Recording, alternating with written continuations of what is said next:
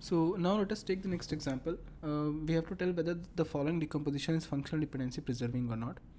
So assume we are having the relation R, A, B, C, D, E and G. The following are the functional dependencies which are given.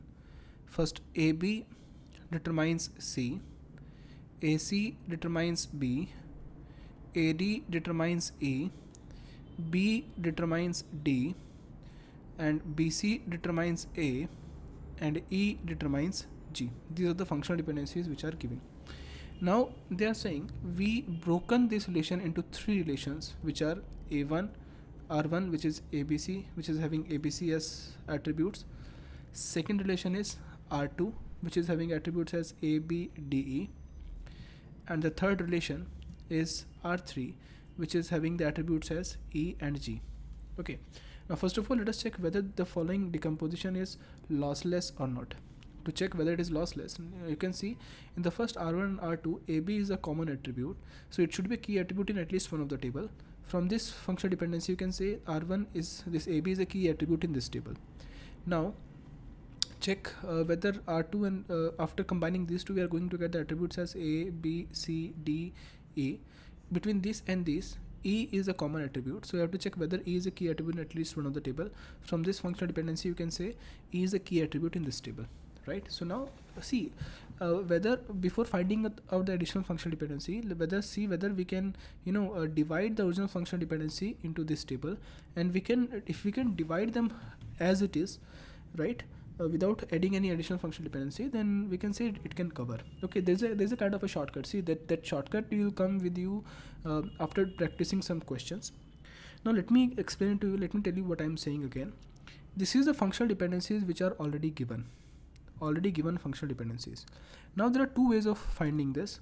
First of all if you know that uh, this following relation is broken down to three relations either you can find what are the additional functional dependencies in uh, these three relations which are possible or if you can you know without missing any functional dependency if you can divide them as it is in these relations then we can say that they are functional dependency preserving because after union of them then we'll get the original one. That means you can see here a determine ab determines c that is only valid for this table. So we can say ab determines c is valid for this table. Ac determines c is also valid for this table right that is that is that means it is only applicable here. So we used these two. Next one is ad determine e. So ad determine e is only valid on this table right? Next is b determine d that is only valid on this table right? So that can only be used in this table third one is bc determines a so bc determines a is only valid on this table. The fourth one is e determines g is only valid on this table. So you can see instead of adding any new functional dependency or instead of subtracting any new functional dependency we just divided the original functional dependency on these tables because they can uh, they can be applied on that certain table only. So even if you do a union of all these then you will get exactly this one. So you can say this decomposition is fd preserving this decomposition is FD preserving. Okay now let us take the next example. In this next example they are saying we are having the following relation which is R A B C D E. And these are the functional dependencies which are valid. Number one A determines BC number two C determines DE number three D determines E. Out of these functional dependencies they are saying this relation is broken down to two relations r1 which is having abcd and second one is r2 which is having de now you have to tell whether these two decompositions are fd preserving or not.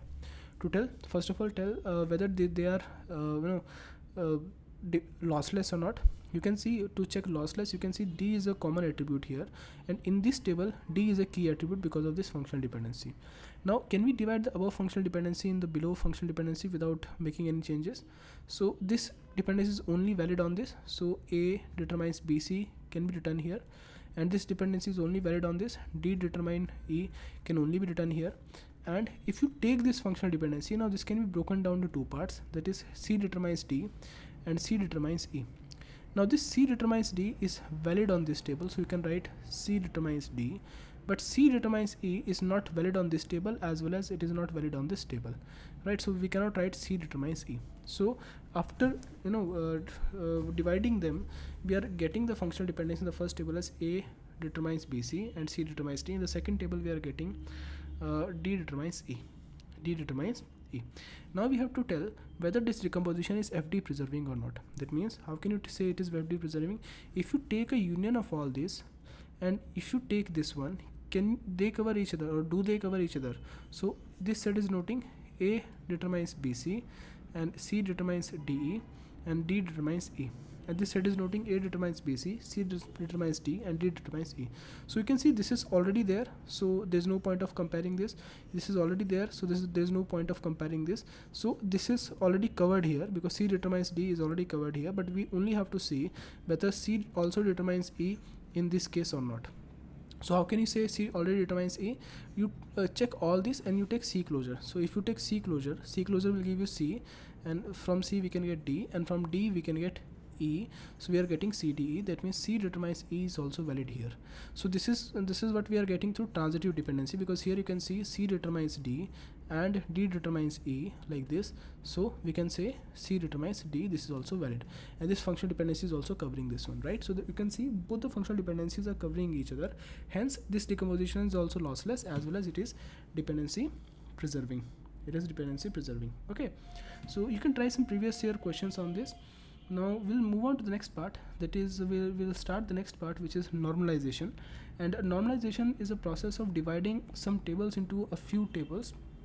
Know uh, some number of tables so that we can uh, have uh, you know uh, we can bring the tables with minimum number of redundancies. Okay let us look at that. Don't worry uh, uh, we can see how can we say a relation is unnormalized how can we say the relation is 1nf 2nf 3nf 4nf bcnf and 5nf so we'll see all of that.